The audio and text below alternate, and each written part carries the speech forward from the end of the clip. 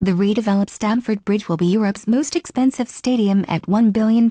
Chelsea have put their new stadium plans on hold citing an unfavorable investment climate. The estimated cost for a new 60,000-seat Stamford Bridge has increased to £1 billion after delays, which included a dispute with a local family. The club was first granted permission to start work in January 2017 but the row was only settled in March. No further pre-construction design and planning work will occur. A club statement said the club does not have a time frame set for reconsideration of its decision.